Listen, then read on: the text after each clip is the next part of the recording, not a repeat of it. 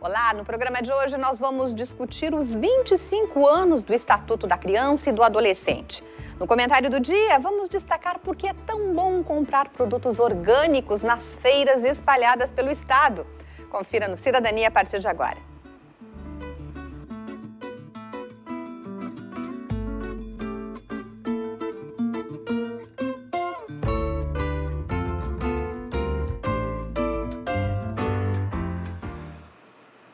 Você quer ver algum tema discutido aqui no Cidadania? Então envie a sua sugestão pela nossa página no Facebook. O endereço está aparecendo aí no vídeo, é facebook.com.br Cidadania TVE. Lá também você poderá assistir online aos programas que vão ao ar aqui pela TVE, mas especialmente o Cidadania. Tem os links lá ó, com os programas. Não pôde acompanhar todo o programa? Vai lá e vê o link e acompanhe na íntegra os programas apresentados. Mas ele foi o resultado de uma intensa mobilização social pela promoção dos direitos humanos. Nesse mês de julho, nós estamos comemorando os 25 anos do Estatuto da Criança e do Adolescente. No momento em que tanto se discute sobre maioridade penal, redução da maioridade penal, como analisar as mudanças trazidas pelo Estatuto no nosso país há 25 anos atrás? Está conosco a juíza Vera De Boni, que é juíza da terceira vara da infância e juventude daqui de Porto Alegre, e Irani Bernardes, conselheiro do Conselho Estadual da Criança e do Adolescente e representante da Secretaria da Justiça e Direitos Humanos. Prazer em recebê-los no programa neste momento. É mais a comemorar, é mais a questionar? Em que, que momento é esse, assim, para se tratar uh, da questão do Estatuto? Bom, eu poderia começar dizendo que, com certeza, é muito mais para comemorar. Primeiro, que nós estamos comemorando o 13 de julho, que é a data da, da edição né, do Estatuto da Criança e do Adolescente.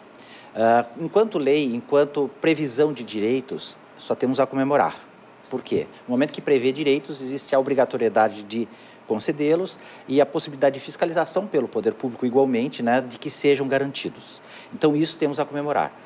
Temos ainda muitas dificuldades, muitas coisas a avançar na sua implementação.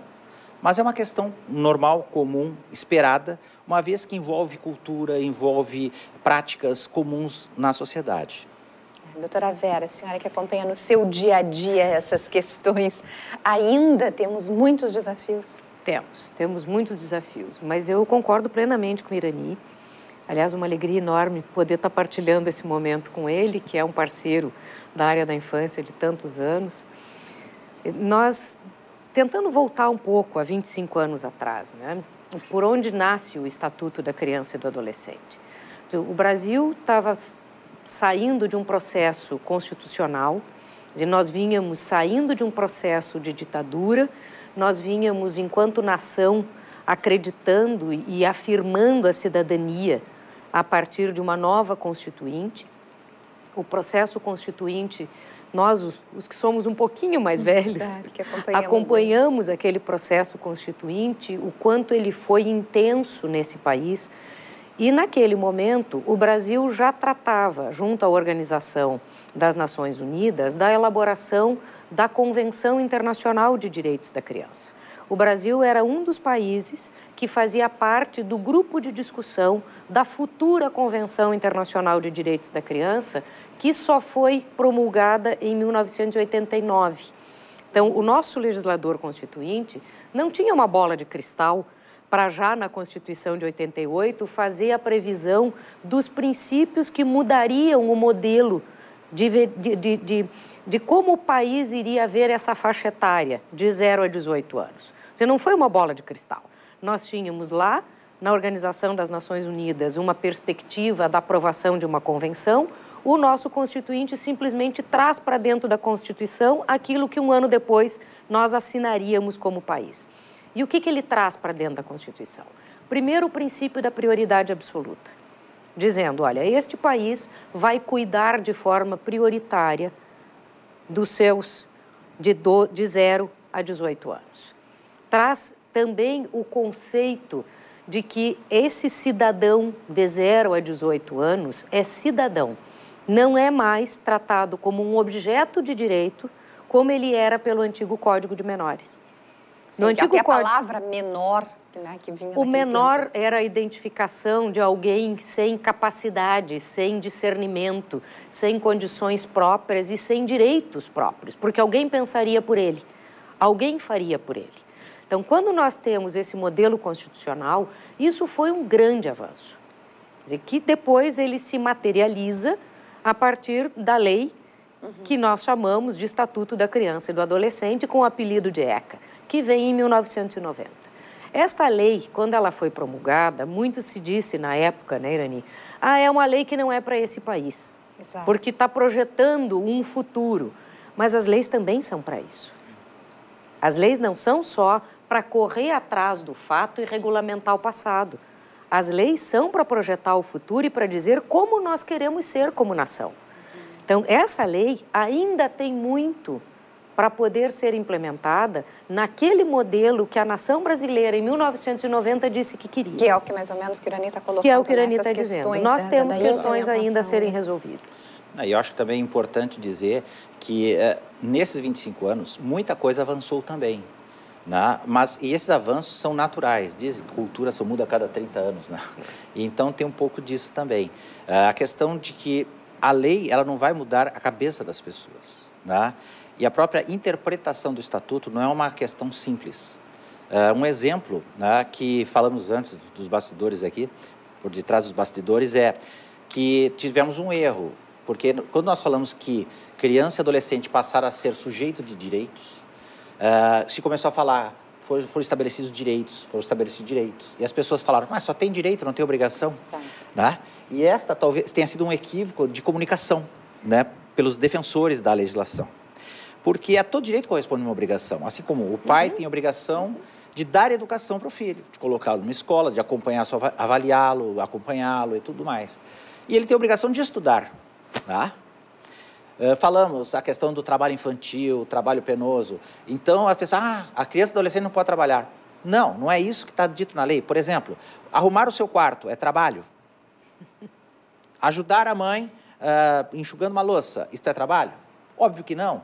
Arrumar a sua bagunça é trabalho? Claro que não. Né? Então, são questões que uh, misturam né, por falta de compreensão do estatuto, da legislação. Então, equívocos interpretativos e acabam culpando a legislação né, deficiências humanas. Claro. E eu, eu até vou convidar vocês, já que tocou no assunto né, de telespectador, a gente vai ouvir também um pouco as pessoas, porque nem todo mundo sabe que o Estatuto está completando os 25 anos. Mas mesmo assim, todo mundo tem algo a falar sobre o que ele significa e a gente vai acompanhar agora. Tu sabias que o, o Estatuto da Criança e do Adolescente, o ECA, está fazendo 25 anos? Não sabia, não sabia. Ele ajudou a, a, regulamentar os direitos da criança e do adolescente, então acaba ficando mais objetivo, mais concreto. Mas eu acho que o objetivo da gente é sempre proteger a criança, né? Então não deveria nem estar escrito, mas como precisa, eu acho que o estatuto auxilia. Eu acho que beneficiou em muitas coisas, porque fez uma regulamentação, né? Mas eu acho que tem algumas coisas falhas, como por exemplo, toda criança precisa levar uma palmada um dia, porque se elas não levarem, elas vão pedir isso, tem necessidade, sabe? É uma experiência pela qual tem que passar. Espancamento não. Bater, que nem a gente quando era criança, que apanhava de vara, aquela coisa toda, nem pensar, entendeu? Mas uma palmada, ela é necessária às vezes. Muita coisa ainda não se conseguiu colocar em prática, mesmo fazendo 25 anos agora, né? Isso que, por exemplo? Escola para todos, criança fora do trabalho,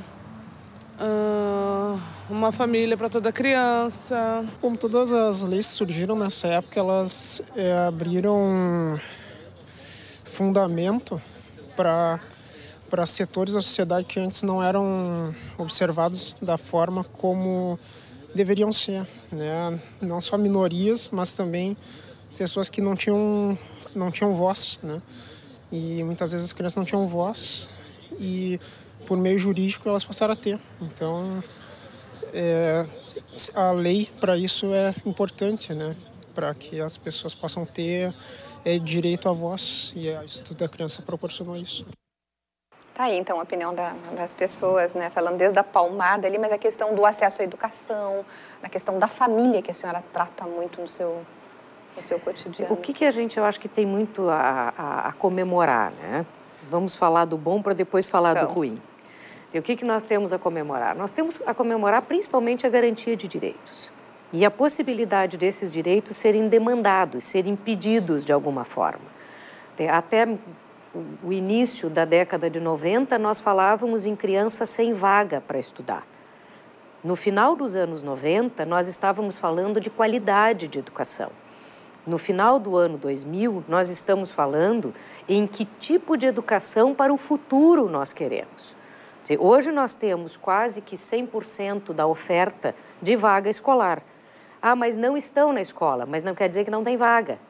Quer dizer que nós não temos uma escola suficientemente atrativa, que nós temos que discutir os critérios de como essa escola funciona, de como é que ela chama essa população, principalmente adolescente, a permanecer na escola. Mas vaga existe. Então, nós tínhamos um direito que não era afirmado e que, a partir do Estatuto, é afirmado, a partir da Constituição Federal, é afirmado e que o Estado se movimenta para garantir. O acesso à saúde vem na mesma linha. Ah, mas o SUS não funciona bem, mas tem um sistema de saúde. Nós podemos buscar esse sistema e, se ele não funcionar, eu posso buscar no judiciário o meu direito. Antes da previsão, não podia. Não havia essa perspectiva. Então, esses direitos que são garantidos e essa visibilidade dessa faixa etária, eu acho que foi fundamental nesses 25 anos. O que, que poderia ter sido diferente? E nisso eu concordo com o Irani. Nós que trabalhamos com o estatuto desde o início, e aqui vai uma confissão de idade nossa, nós trabalhamos com o ECA desde o início, nós fazemos parte da primeira geração da interpretação da lei. E o que, que nós dizíamos naquele período? Essa é uma lei diferente, é uma lei que não pode ser contaminada com uma leitura que não seja aquilo que está dito textualmente. Nós temos um pouco de responsabilidade nisso. Com o passar dos anos, o que, que nós nos demos conta? Que quando o estatuto começa a ser visto pela comunidade, ele não foi lido do jeito correto. Nós não fizemos essa leitura correta e não contamos do jeito correto, principalmente no ato infracional, no crime. Quando o estatuto mudou o nome das coisas, mudou crime para ato infracional, mudou pena para medida socioeducativa, deu um nó na cabeça das pessoas. E aí se instalou aquela ideia, que é uma lenda urbana, de que com o menor não dá nada. Exato, mas... Porque nós contribuímos de uma certa forma quando foi escrito o estatuto e quando nós lemos, a primeira geração leu o estatuto. Nossa, temos mais coisa para falar ainda. Agora a gente faz um breve intervalo, é a hora do nosso intervalo, mas nós já voltamos para continuar conversando sobre esse assunto.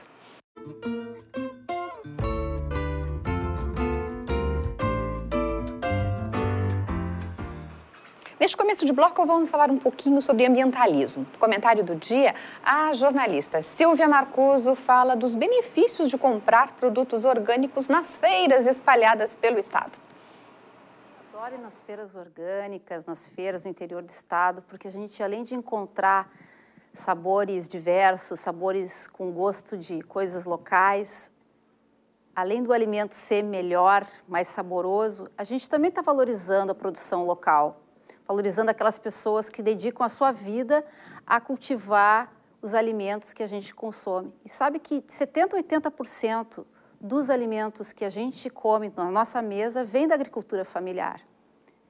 Além disso, tem muitas feiras no interior e na capital que a gente pode encontrar justamente quem planta, quem tem o acesso né, direto a esses alimentos. No interior do estado, são 81 feiras que são um misto de feiras orgânicas com feiras tradicionais. Em Porto Alegre, cinco feiras semanais de agricultura orgânica presenteiam a cidade. Eu acho, inclusive, que é um ponto turístico muito interessante de se levar pessoas, porque ali a gente encontra os nossos sabores legítimos, as nossas frutas nativas, né? como a framboesa nativa, como o maracujá nativo. Então, eu adoro, quando eu vou viajar em outros países, em outros lugares, visitar as feiras locais. A gente podia valorizar mais a nossa cultura também, se alimentando dessas feiras. Além disso, quem não usa veneno na sua produção também está colaborando com as gerações futuras e com essa, porque não está precisando poluir o ambiente, nem deixando veneno nas águas Então, é muito melhor para nós, a curto, médio e longo prazo, consumir alimentos orgânicos das feiras. Tá aí, mais uma comentarista, né? uma crônica do, do, nosso diário aqui no Cidadania. E agora nós vamos conhecer a história de vida. E a história de vida que nós apresentamos hoje é da dona Elisa, que ela esbanja simpatia vendendo flores. Meu nome é Elisa Maria de Souza Pereira. Eu vendo flor há 32 anos e eu, cada significado de flor tem um significado, a rosa, né? A cor, a cor amarela significa paixão. A cor vermelha significa amor. A cor branca significa paz. E as outras cores têm significado, mas eu não sei. E aqui eu tiro para sustentar os filhos quando era pequeno, agora eu sustento os netos né? Pago as contas, é muito bom. Eu adoro trabalhar com público, adoro trabalhar com flor, gosto muito de trabalhar com flor. Há 32 anos, como eu disse, eu venho para cá e daqui eu tiro dinheiro e daqui eu gosto. Me sinto muito bem, ainda mais que eu recebo muito elogio quando eu vendo flor bonita. Elas dizem como tá bonita a sua rosa, como tá bonita para mim é um elogio. Eu me sinto muito bem com isso aí e procuro comprar mais bonita ainda para receber mais elogio. Tá aí as flores e a dona Elisa, né, que esbanjando aí a simpatia. Mas no programa de hoje nós estamos discutindo os 25 anos do Estatuto da Criança e do Adolescente, comemorados neste 13 de julho. E os nossos convidados são a juíza Vera Deboni, da Terceira Vara da Infância e Juventude de Porto Alegre, e Irani Bernardes, conselheiro do Conselho Estadual da Criança e do Adolescente e representante da Secretaria da Justiça e dos Direitos Humanos. Falamos de, dos direitos, mas o que, que desafios ainda o, o Estatuto nos impõe? Quais são os maiores desafios nesse momento? É, eu acredito que ainda um dos maiores desafios é compreender o que o Estatuto está tentando transmitir para a sociedade. É a concepção do Estatuto. Ele ainda, 25 anos é, depois, não é tão bem algum, compreendido. Não é compreendido, não é entendido de forma adequada. Tá? Então, muitas vezes temos conselheiros tutelares, conselheiros de direito, que dizem, ah, eu conheço o estatuto, advogados, conheço o estatuto, mas leram e não, não, não captaram a concepção do estatuto. Por exemplo, uh, eu sou pai, tenho filhos. Né? Uh, o que eu quero para os meus filhos é o que eu quero para o filho dos outros. Né?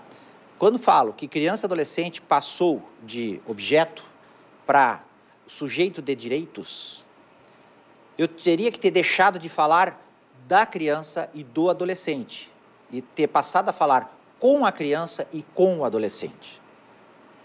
Quando alguém diz que criança pede tapa, como foi apresentado há pouco, a criança ela pede e necessita de limite, não tapa, limite.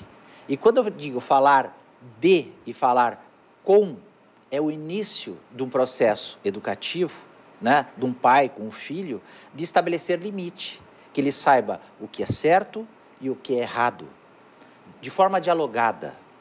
Uhum. Quando um filho meu faz uma coisa errada, eu quero o quê? Que ele deixe de fazer a coisa errada ou eu quero simplesmente castigá-lo? Quando o castigo educa, ou o que, que nos faz mudar de procedimento como criança? Quem não foi criança, não foi adolescente, não sabe do que eu estou falando, né? Eu quero deixar de fazer a coisa errada por medo de apanhar de novo ou porque eu compreendi a natureza daquilo que eu estava fazendo. Se eu deixo de fazer para não apanhar de novo, se eu estou longe do agressor, eu vou pensar, agora eu posso, claro. porque eu não vou apanhar. Agora, se eu tiver compreendido a natureza daquilo que eu realizei, que é certo e que é errado, e consequências, eu não vou fazer independente do espaço do ambiente que eu ocupo. Uma visão mais abrangente de mundo, inclusive. Exatamente. Quando nós estabelecemos uma lei do tapa e coisa parecida, óbvio que tem crianças morrendo em hospitais porque são espancadas. Perfeito? Isso se compreende, todo mundo compreende. Ah, isso eu concordo. Mas muitas vezes não conseguem olhar para o seu próprio umbigo e verificar qual é a melhor forma de educar. Vem uma lei, é estabelecida pelo Estado e não foi orientada às famílias de como proceder. Tudo bem, não posso mais dar tapa, então como é que eu faço? Uh, eu, particularmente, fiz curso de noivos. E ninguém me ensinou a, a educar A ser pai. filhos, a ser pai. Né? Ah, eu não sei qual casal fez um curso para ter filhos e educar seus filhos. O Estatuto fala né, de apoio à família. Que políticas são essas de apoio à família? Pergunto Quando alguém chega no terceiro juizado com um filho que cometeu um ato infracional, verifica que tem uma família desorganizada, a doutora Vera Deboni faz o que com esse pai e com essa mãe? Esse é o único método que eles conhecem. Eles reproduzem o seu vivido. Que programa, que política existe para encaminhamento, para atender aos pais, para que os irmãos deste infrator não voltem também a delinquir? Então, são coisas de concepção do estatuto. O estatuto dá a receita. O problema é que nós temos que interpretar, ler né, e ver exatamente qual é o recado, quais são essas políticas. Né? Muita coisa é autorregulamentada, agora, outras coisas não. Esse talvez seja o grande desafio, né? Fazer a implementação daquilo que está dito e tendo que descobrir o que é que está dito. Esse exemplo que o, que o Irani usa, ele é absolutamente pertinente, né? O Estatuto fala em acompanhamento familiar e apoio familiar. Obviamente que existem ciências próprias para trabalhar com isso. A psicologia é uma delas, o serviço social, a psiquiatria, as retaguardas terapêuticas.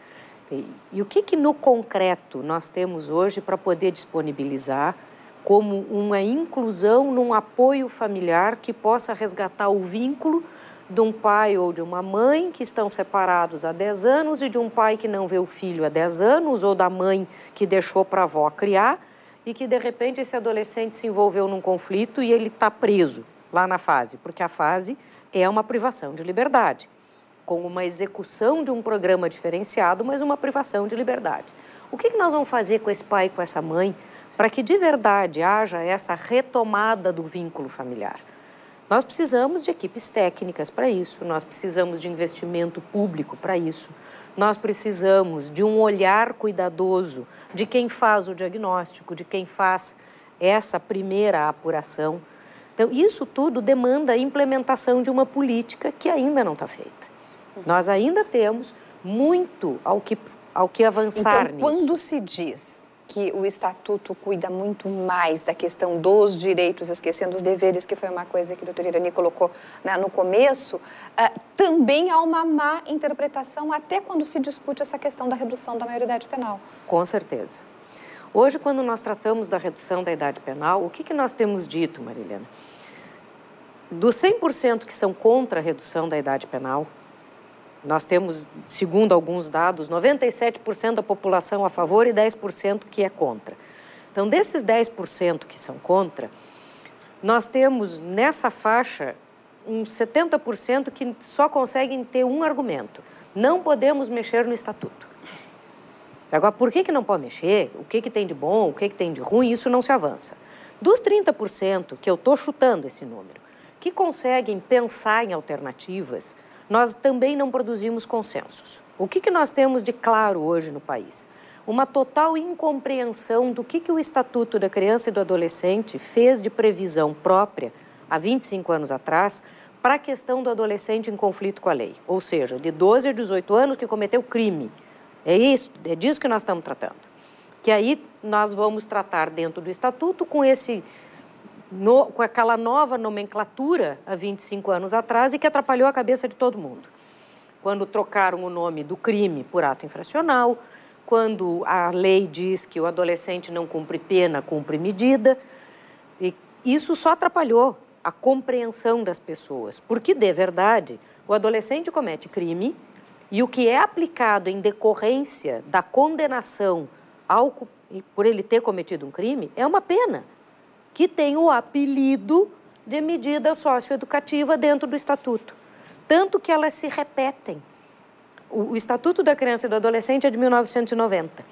Em 1999 veio a Lei do Juizado Especial, o famoso GECRIM, que repete exatamente as penas alternativas para o adulto, que são as medidas socioeducativas de meio aberto do adolescente. Exatamente as mesmas. Reparação do dano, liberdade vigiada, que é a liberdade assistida, aonde o cidadão está solto, mas ele tem compromissos a fazer para prestar contas da sua vida para o Poder Judiciário. é a liberdade assistida do adolescente. A reparação do dano é a mesma do adolescente. A prestação de serviço à comunidade do adulto é a mesma prestação de serviço à comunidade do adolescente. O nome, inclusive, é o mesmo. A privação de liberdade, que para o adolescente nós chamamos de internação, para o sistema adulto é reclusão. Certo, mas não quer dizer que ele não. Mas não quer dizer que eles não estão presos, que eles não estão privados de liberdade. Onde é que muda? Bom, se, se é tão parecido, por que não levar para o presídio, né? Exato. né? Já que é tão parecido. Porque o que muda de verdade é o sistema de execução. Não é a natureza do que é aplicado a esse cidadão, tenha ele 12 a 18 anos ou acima dos 18. A natureza da privação de liberdade é a mesma. O que muda é a forma de fazer a execução dessa pena. Lá no sistema socioeducativo, na fase que o Irani já presidiu, existe um outro compromisso, um outro dever ser diferente do sistema prisional. Tentando explicar. O adolescente é obrigado a todas as manhãs acordar para ir para a escola dentro da fase. No sistema prisional adulto, nem escola tem. Quanto mais Aliás, a nem obrigação. atividade, muitas vezes. Lá ele vai, se raramente tiver e quando quiser. No sistema socioeducativo não tem opção. Ele vai ter que ir. O sistema socioeducativo vai ter que garantir escola para 100%. O Irani, quando foi presidente da fase, não tinha a escolha de oferecer ou não. Ele tinha que garantir isso. Então, o que muda é o sistema de execução. E por que, que isso é tão importante? Porque dos 12 aos 18 anos, nós temos a perspectiva da esperança e da mudança. E acho que é disso que esse país não pode abrir mão. Da perspectiva, que eu não estou dizendo que é para 100%, não estou dizendo que nós não temos reincidência, não estou dizendo que o sistema socioeducativo é perfeito. Ao contrário, estou dizendo que nós temos muito por fazer. Mas nesse sistema nós temos esperança. E no sistema penal nós não temos esperança. E muito ainda a amadurecer como sociedade, né, muito. gente? Mas tem muito, essa semana toda vamos falar muito, tenho certeza que vamos ouvi-los muito em outras vezes também e esperamos que assim, né, e provocando cada vez mais a reflexão sobre um tema que é tão importante, né, que assim, afinal de contas é a nossa, nossas gerações aí no futuro. Por hora eu agradeço muito a presença de vocês hoje aqui, obrigada, até uma próxima. Uma honra e uma alegria. Obrigada a você pela sua audiência e o Cidadania volta na próxima edição. Até lá!